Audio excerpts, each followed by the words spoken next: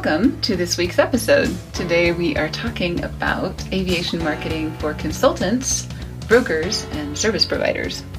Great stuff. Great stuff. Great people, actually. We have a number of them in our uh, in our marketing lab, and they are all really, really cool people. Yes, they are. All right. So, speaking of our marketing lab, um, this is where a lot of the smartest people in the aviation industry hang out, including consultants, brokers, and service providers, right? True. And uh, this is where a lot of them get a lot of their um, data and consulting and things like that to really help them uh, be at the on their A game in terms of marketing and also in terms of, of sales and things. So we provide a lot of different tools and services at a discounted rate so that uh, basically you get all of these products and services for 279 a month. We try to make it as affordable as we possibly can to make that really worth it to you. All right, so um, three things that we recommend for uh, aviation consultants, brokers, and service providers. Uh, the first is to work on your ACE markers, right? Yep. Second is to build a network of the right 100 people. True. And the third is to create a holding pattern. So, first, let's talk about ACE markers. And you all know about ACE markers from World Way War back. II. Way back, exactly. And uh, I ran across this story that's actually really amazing. Um, this World War II ace scored kills from every Axis country and from the US. Really? Yeah. Um, this is a story by Blake Stilwell in We the Mighty, and uh, this is actually really short, so and it's really cool. So, um, Army Armed Forces Lieutenant Colonel Lewis E. Curtis uh, got a piece of every original signatory to the Axis Pact: Germany, Italy, and Japan. If that wasn't outstanding enough, it's how he got his American flag kill mark on his fuselage that earned him a place in military history, and perhaps even the Distinguished Service Cross. It's not a mistake. Uh, this 20 something pilot earned every single one of his kill marks. He joined the Army Air Corps in 1942 at the age of 22 to fly planes against the Nazis. By 1943, he was a hotshot lieutenant, scoring three kills against the Nazi Messerschmitt Bf 109s, the workhorse of the German Luftwaffe, in his P 38 Lightning. This was 10 days into his first assignment. Uh, within the next month, he notched up two more kills, earning fighter ace status, right? Okay. In August of that year, he ran into an Italian Macchi C202. Did I say that right? Probably not, but that's okay. How do you say it? I don't know. Probably Moki. Moki? Okay. That shot, uh, and shot that one down. Unfortunately, that was his last combat kill over Europe. He was shot down by Nazi planes over Italy and captured by Italians, resigning himself to spending the rest of the war in a POW camp. But that didn't happen because Italy capitulated a few days into Curdes's internment. Curdes was then sent to the Philippines and put behind the stick of a new P 51 Mustang fighter, going up against the talented Japanese pilots. He was quickly able to shoot down a Japanese recon plane near the island of Formosa. His hat trick was complete, but that's not where the story ends. He and his plane, the Bad Angel, were fighting over the Japanese held Bataan when his wingman was shot down over the Pacific. Soon after, he saw a C 47 transport plane, wheels down, headed to land on the Japanese island. When he was unable to make radio contact, he tried to physically wave the transport off but came up empty. So rather than allow the American plane and its crew to be held prisoner by the Japanese, he used the one option he had left. He shot them down over the ocean. Curdes skillfully took out one engine and then the other without blowing the cargo plane to bits. He was able to bring the C 47 down just yards from his downed wingman. Curdes returned to the site the next morning as an escort to an American flying boat. The pilot crew and its human cargo were completely intact. Did you know this story? No, I didn't. Okay. Among the passengers he shot down was a nurse Curdes dated, uh, had dated the night before. a girl named Valerie, uh, whom he later married. The story was rewritten that uh, by Colonel Air Force Colonel Ken Tolferson in his book U.S. Army Air Force Pilot Shoots Down Wife. Internet legends say he was awarded the Distinguished Service Cross for downing an unarmed cargo plane, but his citation was actually ordered for his actions while in the European theater. Uh, he still wins the best How I Met Your Mother story of all time, however. His P 51 Bad Angel is in the P- Pima Air Force, or Pima Air and Space Museum in Tucson, Arizona. Right? So, um, pretty cool, right?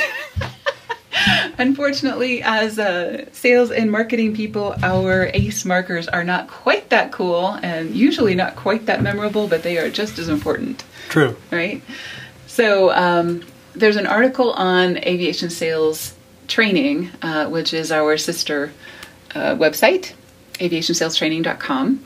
Uh, that is 17 ways aviation salespeople can establish authority, credibility, and expertise. And among those things, you know, there's 17 of them, so I'm not going to tell you all of them. You can um, read the article, and it includes links to things with uh, more information about each of these. But um, things that you can do to build credibility, authority, and expertise in.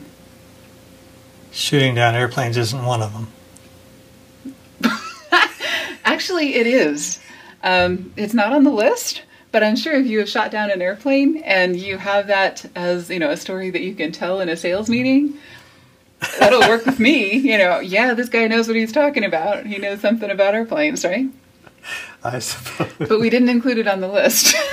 what is on the list are things like writing a book, um, publishing press releases, publishing articles, um, being active in organizations, public speaking, and things like that. Um, those are the kinds of things that people will look at and say, you know, this person really knows what they're doing. And if you've done those things, it's not enough to just have done them. You also have to paint them on the side of your plane, so to speak, and have them on your website, on your brochures, and, and other things. And we guide these folks through all that. Exactly. So, um, right. So, thing number one is to have some um, ACE markers, right? hmm On the side of your plane or on the side of your whatever it is that you do business in, right? Okay.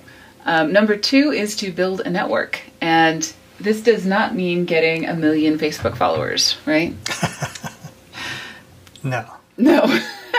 I know a lot of people think this is what it means that you know that is winning uh, when you have high numbers, and it kind of is. Um, you know, just in the sense that more people have heard of you, but that's about it. What we're talking about is this circle here, the second to the inside. So, um, if you're just listening to this, if you're not watching, I've got a bunch of concentric circles with a tiny one with your team, a slightly larger one with a hundred people, a slightly larger one with a thousand people, and a really large one with your whole market.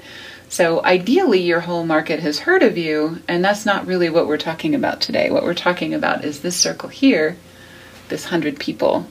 Um, there is a story, and I think it's from um, uh, Perry Marshall, where he talks about having the right hundred people um, is worth millions of dollars. Um, having a network of a hundred people is really all you need if you're a very successful salesperson because they know the right folks, they're involved, they are part of the um, industry, they are the people who with the authority, credibility, and expertise to help you, right? hmm Okay. So most people spend way too much time worrying about the big circle and not enough worrying about the smaller ones, right? And so if you have a group of 100 people that you are actively working with on any given at any given time and that means shaking their hands, going to see them, um, you know, going to the events where they are and you know making sure you go to their speaking events, um, working on projects together, making referrals to them, making referrals from them, um, you know, other kinds of things, so that you're actively um, a part of their business life, right? Right. Okay. All right. So um, we've talked about holding patterns quite a bit, and you may want to have different versions of your holding pattern for different levels of your network, right? So you know, for that a thousand people, you may send out a thousand newsletters, and uh, you may send out a thousand emails because that's fairly inexpensive, and that's something that you can do to keep in touch with a larger group of people. But that group of 100 is where you want to be making phone calls and shaking hands and you know adding more to that holding pattern, having a more intense um, activity-filled holding pattern, right? True. Okay. Cool. So once again, your three things. Um, number one, work on your ACE markers. Number two, build a network of the right 100 people. Absolutely. And number three, have a really strong and activity filled holding pattern because not all of those 100 people or 1,000 people are going to be ready to buy at any given time. And you need to have a reason to stay in touch that is not buy my product, buy my product, buy my product, right?